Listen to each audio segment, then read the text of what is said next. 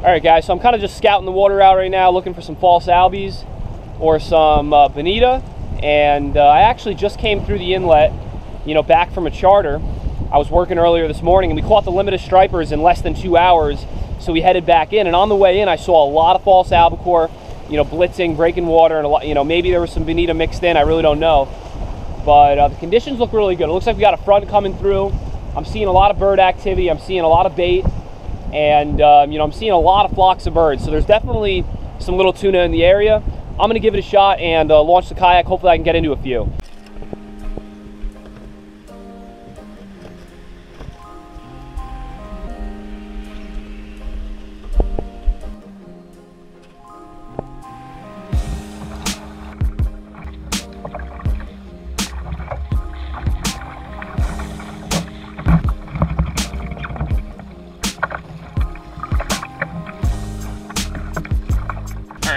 Start off trolling with the fly rod, with this little fly here. And, uh, you know, I'm gonna put it behind the kayak like, you know, maybe 20, 25 yards. Not that far at all.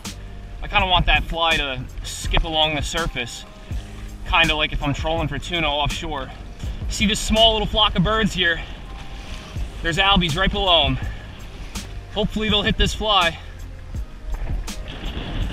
Try and get a good angle.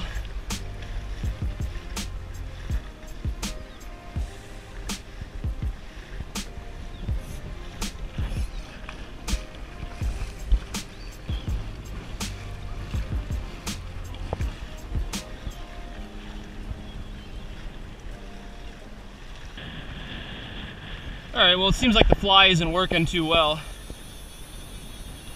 I tried trolling it through at least like four or five different schools of feeding albies. And uh, that, that's what I was doing the other day. I was trolling the same little fly here. And, um, you know, that's what they were hitting right on the surface. But, you know, it was right before dark when they were hitting it, so they might be uh, keying in on something a little different.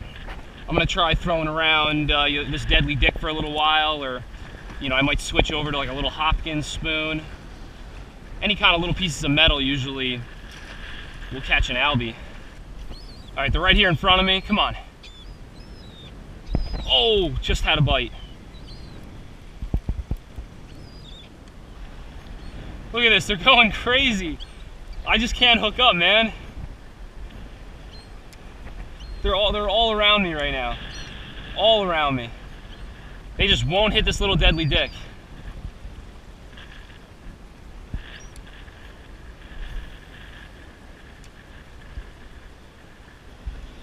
I'm gonna switch back over to the fly, try trolling that around.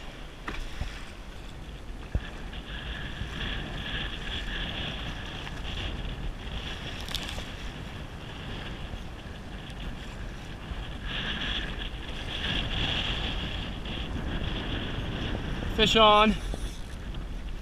I don't know what it is. If it's an albie, it's really tiny. I think it might be an albie. A really small one. yeah, definitely an albie. Woo!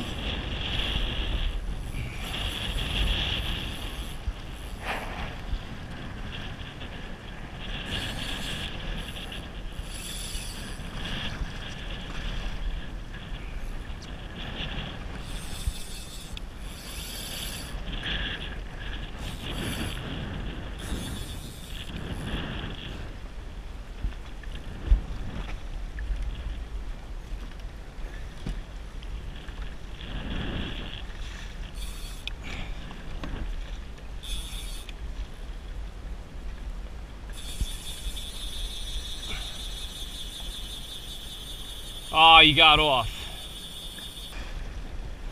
Look at this. Oh, they're going crazy right now. Oh gosh, I gotta hook up. I've gotta hook up. Come on, baby. There he is. Got him. Got him, man. Gotta keep up with this one so I don't lose him.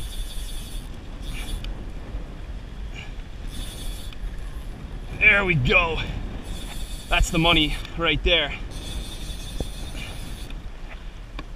I miss this feeling. it's been a while.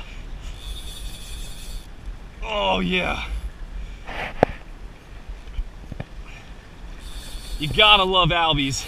Gotta love them. Woo!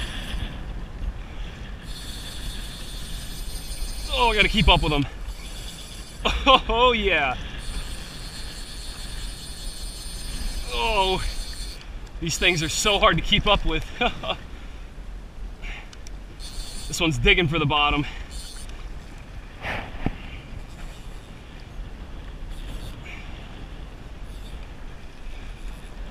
I gotta reel myself to the tuna.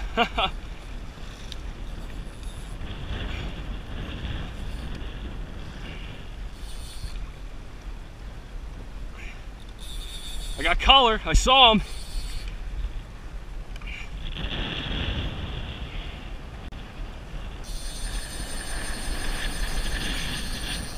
All right, I got the leader. I can see the leader, but he's not coming up. This fish does not want to come up. oh, this is crazy. This is great.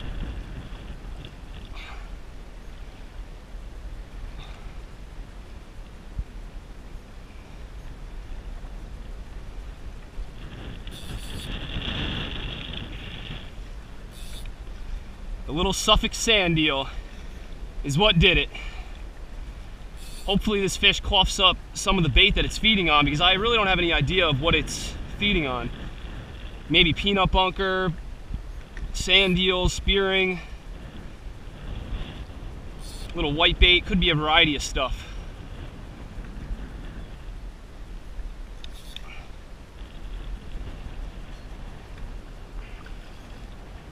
Not a giant, but hey, it's a little tuna. It's a little albie. Oh, he's actually pretty good.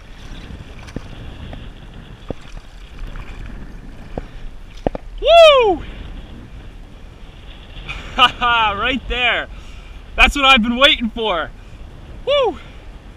These fish are just so cool. Such a sick fish. Such a sick fish. And that's basically the little fly he ate right there. Woo! See you later, buddy. There he goes. Woo! Let's catch another.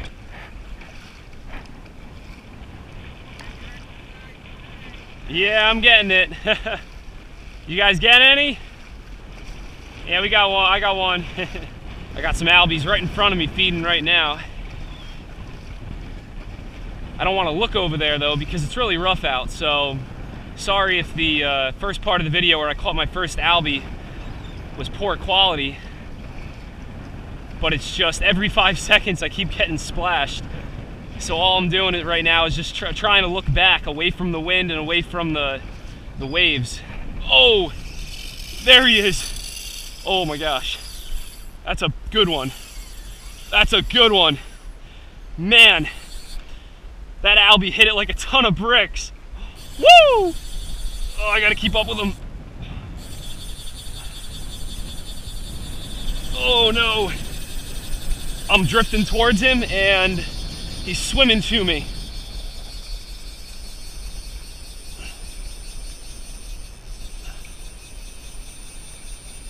Oh, he came off.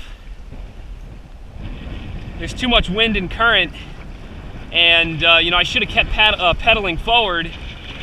But what happened is, is I stopped pedaling forward, and that little tuna just swam right to me, and the hook came out on my next fish, I'm just gonna keep pedaling forward. Oh, I got, I got albies right here behind me. Look at this. They're jumping out of the water. That's great. Let's see if I can hook up real quick again. Woo, they're going crazy right in front of me. Hopefully I can hook up. Look at this, insanity.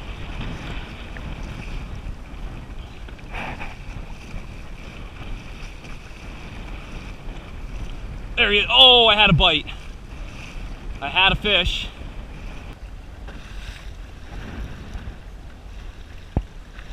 All right, well the bite seems to be dying down a little bit. Oh, never mind. Never mind. Never mind. Oh my gosh. I really, I, I didn't see an albie for like 10, 15 minutes. And first cast right behind the kayak, I hook up. I can't make a mistake like I did the last time I hooked up with a good fish like this. And that was start drifting down current. And then the tuna just starts swimming up current and then there's too much slack in the line and he gets off.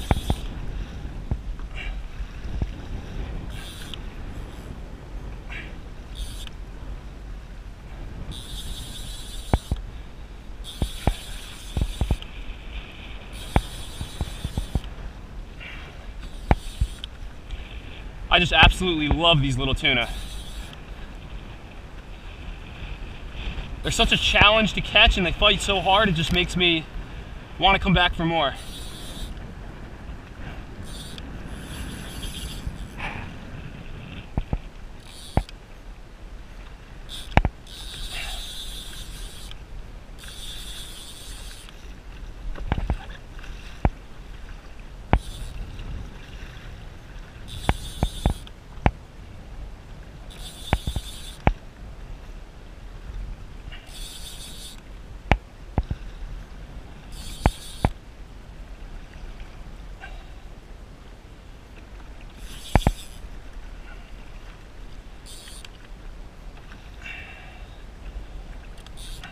These guys will totally burn your arms out fast, man. I'm thinking this one is a little bit bigger than the one I landed before. Feels a little bit heavier.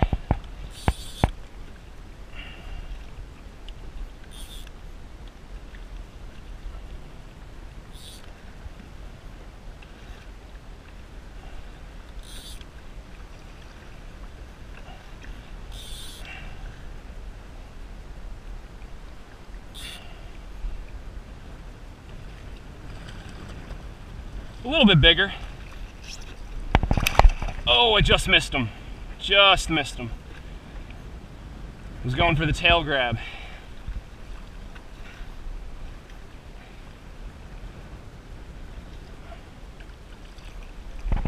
Oh, I got him. Woo!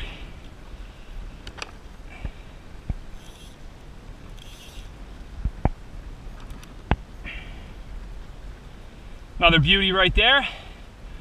Woo! Such a cool fish again. What's up, buddy? Just on that same fly pattern, that little Suffolk sand eel.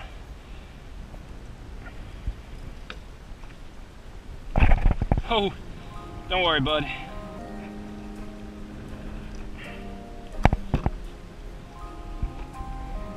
See you later.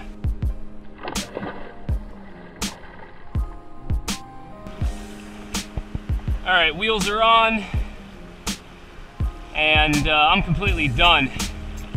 I pedaled for probably two hours nonstop to catch two tuna and lose three tuna. I'm pretty much soaking wet, and so is my kayak. But hey, you know what? It was totally worth it. But uh, all in all, definitely a good outing. I hope you guys enjoyed the video. And if you have any questions or comments, just post that in the comment section below. Or look in the description below for any more information about tackle and equipment. And uh, you know, it's only September 18th, 19th. I fish so much, I forget the days. So there's still plenty of fall season left to catch some albies. So uh, hopefully I can get into a few more. Never forget, guys, live to fish, fish to live, and I'll see you guys out on the water.